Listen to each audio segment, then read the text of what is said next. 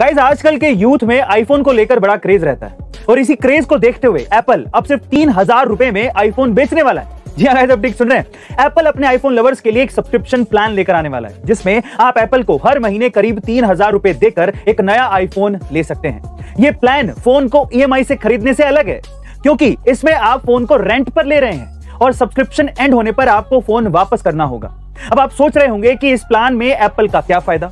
दरअसल एप्पल ये चाहता है कि प्राइस के चक्कर में ज़्यादा से ज़्यादा लोग आईफोन खरीद कर एप्पल के इकोसिस्टम में घुस जाएँ, जिसके ज़रिए एप्पल अपनी दूसरी सर्विसेज़ को आसानी से बेच सकता है जिससे ये पूरा सब्सक्रिप्शन मॉडल काफ़ी ज़्यादा प्रॉफिटेबल हो जाएगा। गाइज़ इससे एक बात तो क्लियर है कि आने वाले साल में लोगों का एक बड़ा हिस्सा आईफोन लेकर घूमेगा।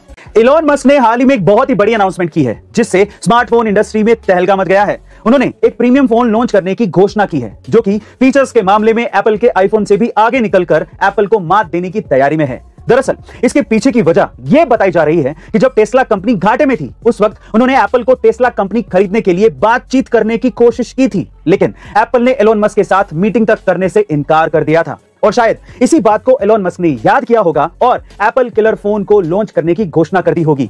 दूसरी तरफ़ एप्पल भी इलेक्ट्रिक कार्स में टेस्ला को टक्कर देने के लिए उतर गई है।